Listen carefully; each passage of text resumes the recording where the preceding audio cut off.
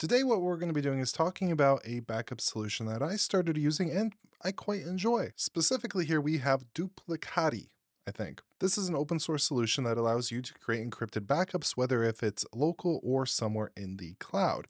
And one of the primary reasons I started using this is I have the absolute disfortune of paying for a Google subscription, specifically uh, workspaces here. I have to use it for business, and I have this weird thing where I don't like to upload my data, especially my files, images, things like that, into these cloud platforms. But you can see I got four terabytes here, and I've started using some of it mostly because this is what the data looks like. If I open up my Duplicati folder, you can see I have Nextcloud and Immich backups in here. If I open up Immich, for example, uh, this this is all they get. So just a bunch of password encrypted zip files, blocks of 50 megabytes, completely hidden and secure from the prowling eyes of Google. And the beautiful thing is it's really, really easy to set up and get going. I'm going to show you all that, including some of the things that I don't necessarily love about the product right after today's sponsor, and that is the Mova V50 Ultra Complete Robot Vacuum. As somebody who is a bit lazy when it comes to household stuff, I love these things, especially when they can mop and vacuum at the same time, and especially when they actually do it well. I've been using one of the higher end EcoVacs, and even though this thing is a bit cheaper, I do like it better, and there's a couple of reasons. One, and it seemed really cool at first, the EcoVacs has a roller that kind of squeegees the water off of it, Turns out the little tray in that thing gets clogged up quite a bit. So now I kind of prefer the two rotating mop pads and the real cool thing about this is they're magnetic. So if you send it to go vacuum somewhere and not mop, it will actually just leave them in the station. Of course, it doesn't have to leave the mop pads behind, it can lift it up, so if it needs to go over a rug or something, it will do that all automatically. The actual wheels can lift up quite a bit, so when it's going to go vacuum somewhere, if there's a small ledge or something or a little divider that it needs to get over, it can do that easily. It's short at under 90 millimeters, so get under things, the little camera actually goes down and retracts when it needs to go under a couch or something. The little side brush can fan out a little bit to get corners better. And something that was actually pretty cool with the EcoVacs is that roller mop can actually swivel out and get the edges. This one can too. It actually can move the mop pad out a little bit to do the same exact thing. The suction's very powerful. They even have a super max mode that you could go ahead and use. And honestly, out of everything, the thing that really stood out to me, and this is the first time I've seen this, is the fact it has two of the vacuum brush rollers. So everything's getting double brushed and it sucks in this way. So I really haven't noticed any tangles at all. And I got women in this house. Another thing that was kind of cool versus the EcoVacs is both of them have a way to put in a solution, so some kind of cleaning product. The EcoVacs is one tank for one solution. This one has two, so you can put in an all-purpose cleaner, and then a specialty one for hardwood floors or like pet specific cleaners, so that's really cool. Just overall, I'm incredibly happy with it. If you are in the market for something like this, this is definitely one worth checking out. And if you want to check out this one, do check out my link down below to go ahead and learn more. So getting into it, my main instance that I have right here is installed via Unraid just using Docker. So if I go over here to Docker, you can see that I have it right here. If I click on this, just to kind of show you my settings, it does run on the port 8200. I'm not going to go over the full setup. It's a doc. I'll, I'll put a Docker Compose down below, making it nice and easy for you. We have the path for the backups, which I created a whole separate share specifically for that. So eventually I will use this to kind of move data in between these different pools that I have. And then we have the source. This source path just points to basically the root of all my shares. So I could see just about anything. So I could select particular folders and things to actually back them up. We have an encryption key, some additional stuff, our web service password, and that's really about it. When you spin it up, you're going to get something that looks a little bit like this. Granted, you won't have any backups here from the get-go.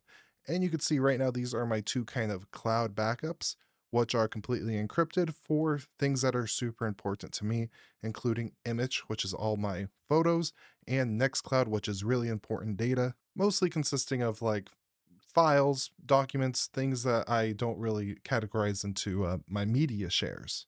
And overall, the UI is really nice too. If I go over here and I do use old UI, the first time I saw it, it looked a little bit something, uh oh, it looked a little bit something like this. I was not a fan. I kind of just looked over it. It wasn't that big of a deal to me. Granted, it's a great tool. Let's go ahead and click new UI, go back to this. Overall, this just looks a lot cleaner. It looks a lot better to me. But now for the functionality. Again, I have some backups here. So I can start the backup right now. So if I did a bulk upload of things and I wanted it to be immediately backed up, I could click that.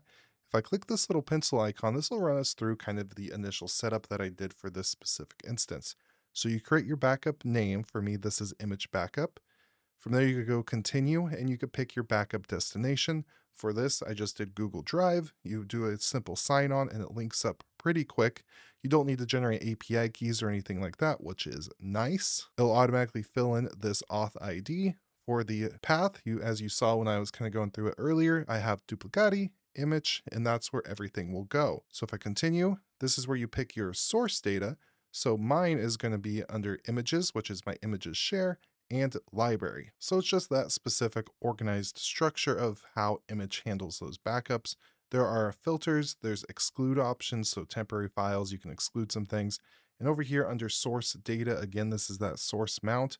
So I can see just about everything going on, especially if I go here under source. I can see all my shares there, so I can change that as need be. Continue, we have our schedule. So I have this run every day at 11 p.m. And then next we will have options. So our my size for each individual file is going to be 50 megabytes. So there's quite a few of them. You can customize the actual retention, but I just keep it on the smart backup retention for now, which is one every seven days, one a week for four weeks, and then one a month for 12 months, which this seems pretty good to me. And then we do have some advanced options if that is something you want to do. So you can get real nitty gritty on how you have all this set up. If I hit submit, there we go. That is my backup. And then an important thing is actually being able to restore that data. So to do that, all I do, go up here, restore, hit start. So I'd pick the specific thing that I want to restore from. So for example, in this Nextcloud backup, if I go restore, it's going to load the files that are available to me and we could see the specific backup. And actually, as you can see here, this latest backup is 263, but if we look a couple days ago, it was 262. So I added just a little bit of data there, and it didn't create a whole new separate backup of 260 gigs. It just uploads the file differences between the backups so it doesn't take up a absolute crazy amount of space if you do run daily backups. But if I do select the latest one, I could go into our files here, and then right here we have the Mova ad for this video specifically. And then if I wanted to, I can go ahead and grab the demo footage, for example, click continue, and then we have our restore options. So I can restore it to a specific location back onto the server, or if I pick location, I can restore it somewhere else on my NAS. So for example, if I go to source, and just for this, let's say I just threw it right into my app data directory, I hit submit, and there we go. The restore pro or restore task is now in progress. And it does take a little bit of time because it does have to actually pull from the cloud, extract multiple zip files, rebuild it and all that. So depending on the actual file size, it might take it a minute. You can see we got about 60 megabytes to go. We can see our logs here. So we have a bunch of these uh, uh, git commands running. And if I drop one down, you can say git completed, got the exact block that it needed. And there it goes. So it is done. So if I went and checked that out, for example, if I go over to my shares into app data, we could see right there, the file has been backed up. If I open it up, there we go. Sweet deal. So now what I'm going to do is I'm going to talk about the console. Now, this is very cool. I do wish, I absolutely wish that this was something that was self-hostable. It's a business. They got to make money. They got to lock down features. I understand. But if I could self-host this, that would be, it would make this a top tier tool. This is on the cloud and basically what is actually going on here is this instance is installed on Unraid and I can't really use this to manage other machines. For every single machine I have, I need to have a separate instance of Duplicati installed onto it, including desktop computers, things like that, and have them kind of manage their own backups. And then from there, I could use kind of their cloud dashboard here to link all the machines together and actually view them and manage them this way.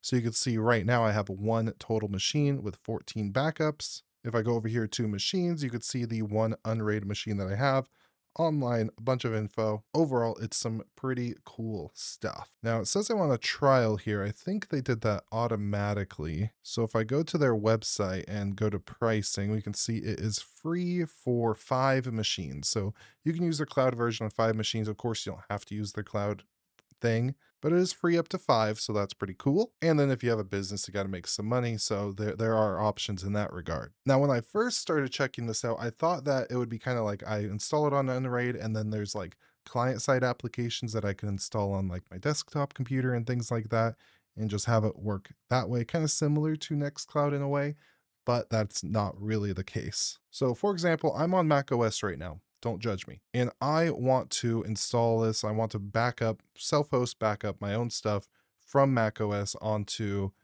either, let's say my Unraid machine, Google Cloud, something. What I would do is I would head over to platform and I would go over to downloads. I would download this for Mac OS. And then when I install the application here and then actually fire it up, we're going to hit open. Basically what it's going to do here is fire up up here. If I go open, it's going to open up a new web browser in a new blank instance. So completely kind of separated from everything unless if I go ahead and register it. So if I did that, I just click to register, finish the connection, should link up fairly automatically. Register the machine, go to the app, and now you can see I have two machines. But if I get out of here and I go back to actually set up a backup on the desktop version, I would go add backup and it's fairly similar process. You can import files. So if you already have a bunch of backups, you can uh, export those, save them. So if something happens, you can make that real easy. But add a new backup, MacBook backup, and this is my home directory to drive. And obviously there's way more than drive. I'll kind of show you that in the next step here. We have a password for the actual encryption. So we'll set something moderately secure and then go continue. We'll hit not now. And here are the actual kind of backup destinations that you could go ahead and pick from. So we have the file system, so store onto local. There's Windows shares, WebDAV, SSH. I mean, the possibilities are up to your imagination. But again, the point of this for me is to use up that cloud storage that I'm paying for. So we'll go Google Drive. And then for the folder path, this is going to be Duplicati, and we'll do just MacBook. And then from there, we got our auth ID. So we'll just use this to go ahead and sign in and continue there. We're good to go. And you can see that fill in. So if I test that connection, oh, it's being weird. Let's try that again.